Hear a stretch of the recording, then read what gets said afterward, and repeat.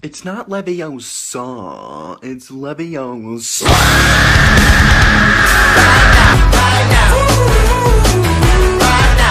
Hey guys, no time for the intro because this is going to be a real damn long one. I'm sliding over cars while I shoot, while I shoot. Hey, think that I'm Tom Cruise. But bitch, I'm Bobby with that tool. Run up on him, Nah, just kidding. Don't y'all, don't y'all know me already. So this is going to be, guys, the entire Season 4 Fortnite storyline for Battle Royale. I'm going to be explaining this in chronological order from Week 1 until Week 10.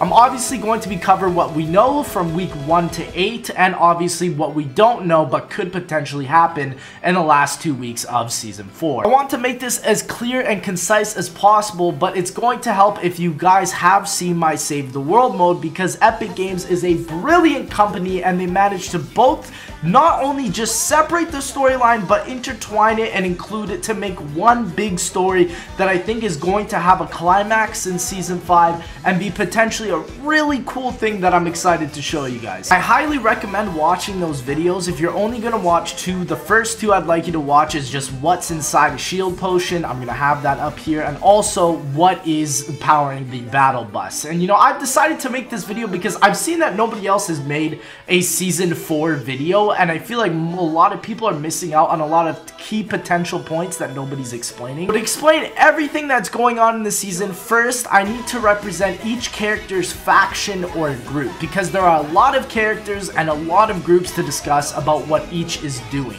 They all have a representative symbol and they are the good guys over here, the bad guys over here, the Secret Service over here, and obviously the infamous Blockbuster. People being a little bit extra on my ass about the other characters that aren't introduced in this, but they were added as skins, we will consider them for the time being as neutral until Epic Games, I guess, puts them into the storyline. These are many characters like the Moisty Merman, the Sky Stalker, the Bandolier, the Rapscallion, the Sc Scoundrel, the Wingman, the Blue Striker. But without further ado, here are the characters.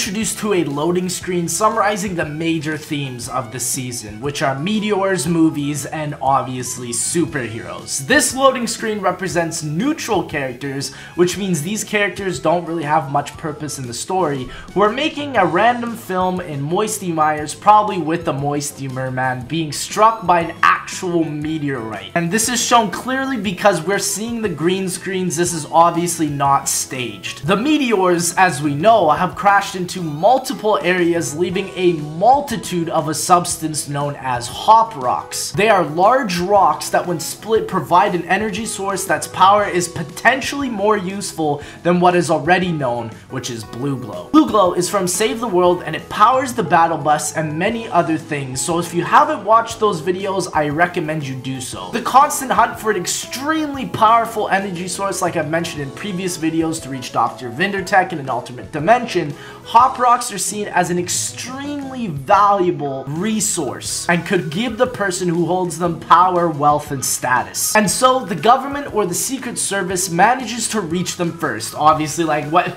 taxes, what else? David, David, I mean, I know you're a sophisticated guy. The world is a mess. The world is as angry as it gets. and they collect them and bring them to a certain lair for harvesting. Alongside the hop rocks, the Secret Service finds what we know as Dusty Divot, a large rock that seems to be carrying something living inside of it. The Secret Service recognizes this power and begins to set up camp as the divot overgrows with life. Now, week two introduces a specific challenge known as dancing in front of different film cameras, and this challenge was introduced to season two, in my opinion, to suggest the future irony that is about to happen. Because if you haven't seen my last couple videos, Battle Royale is a VR simulation used to train soldiers for Save the World mode. We are introduced to our first villain here as well, known as Omega. Omega hears about the power of the Hop Rocks and begins to search for its power along with the Secret Service. He causes a catastrophe at the prison, grasping some power for himself from the hazmat workers.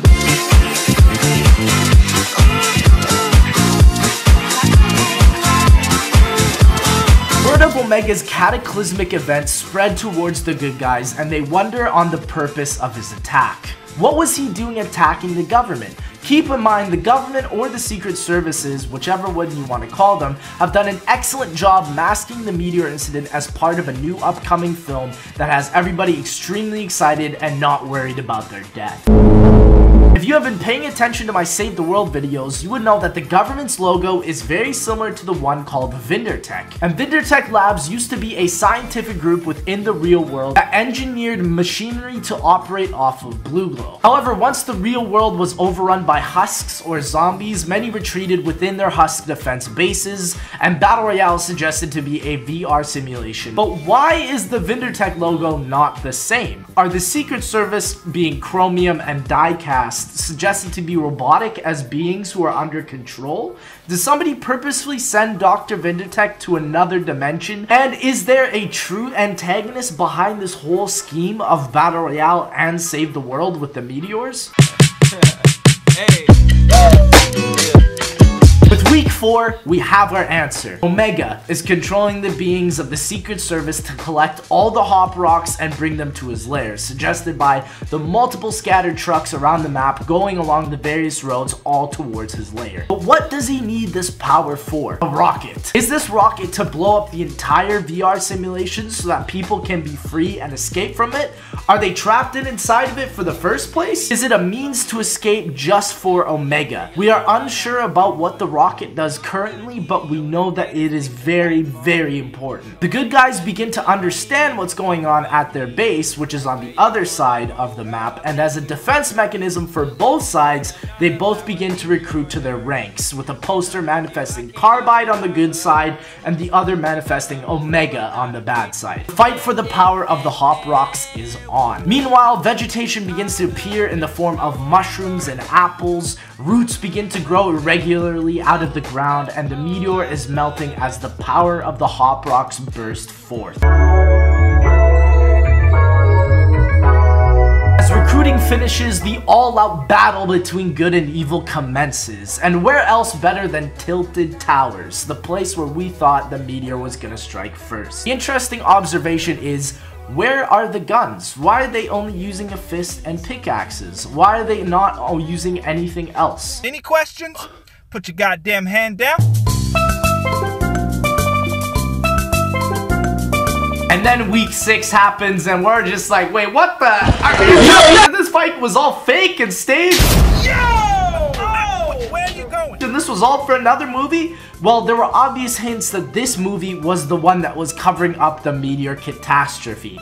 No guns in the last loading screen, the constant movie cameras everywhere, but something odd peeks out of this loading screen that in fact does make something real of it. Omen is at the very top of the rocket, looking very, very evil and like he's about to do something that he shouldn't. This suggests that the government made a movie or the secret services that audience bought into, like the neutral characters, and loved, but in the end, there's no good guy to save the day. It is only the evil who control the rocket and will end up taking over everybody's minds and freeing them from the VR just to be locked up again under Omega's control. It is only the evil who control the rocket. There are no good guys. They were only brought up as actors to be staged for this whole meteorite catastrophe, and they will be the people that don't do anything once Omega takes control. And with all these questions about evil being the only true side of this story, is there even a hope? With week 7, we have our answer again. The Visitor arrives. He breaks out of the divot with immense power, destroying multiple cars and a helicopter, and harnesses the power of the Hop Rocks to travel to the evil lair as fast as possible to stop the rocket. Omega has the good guys under his thumb, or potentially they don't even exist. Omega is now ready to start his plans. Launch sequences of the rocket begin projecting all over every single television on the island, and a countdown begins. Where are the good guys? Where are they? Whether they figure out what's going on or if they even exist to begin to stop Omega is unknown, but potentially we will find out within the last two weeks of the loading screen. It's been a long time. I've been on this road. I'm wrecking my mileage. With week 8, another plot twist begins. The visitor breaks into the evil lair where the rocket is held and nobody is in sight. Has he overcome Omega? Is he planning to save the island or destroy it? Boosters fueled by Hop Rocks are found attached to the rocket, meaning that he will fly out of the planet to let it blow up into space or into safety, or he is using it for himself. Who is the visitor? What are his true intentions? Is he good or bad? Is he Dr. Vindertech from the other dimension? And in the end, we know the rocket has been launched.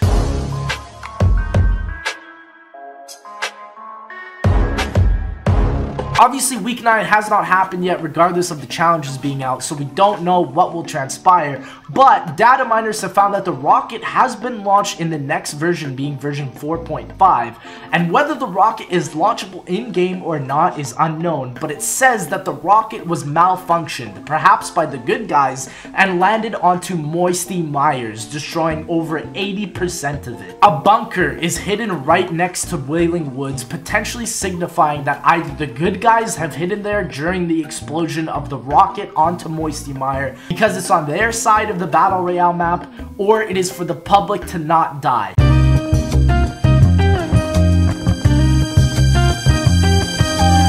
Us to the last week here, week 10, this will be the week that propels us into the new season being season 5. I think the next setting will be an apocalyptic setting based off of the fact of the rocket malfunctioning and destroying a lot of the land in Moisty Mire. I love how Epic Games is tying in both Save the World and Battle Royale into such a magnificent story that isn't just a cookie cutter blah blah blah hero beats the bad guy. Week 6 added such a marvelous curve to the story that had me stumped trying to figure out what was going on. Many people believe that this is leading to a huge LTM mode like Infinity Gauntlet. That's a 50v50 mode where two bosses are on each end of the map, kind of like in a MOBA. So you'd have the good guys on one side, probably with the Visitor over there, and the bad guys on the other side with the Secret Service. What we know is that the movie was definitely a cover-up for the Meteor for the neutral characters, but the Visitor storyline is definitely the one that is happening and concurrent. What's the real purpose of the rocket and why Moisty Mire? My opinion, if Epic wants to make something cool, I don't understand why they don't focus on the divot where they can make like a little beach inside the divot or make something cool in there rather than Moisty Mire, which is on the edge of the map and many people don't really go to. I like that they're doing this. I like that they're taking something just like the loading screens and making us question everything that we're seeing with a variation of the VR and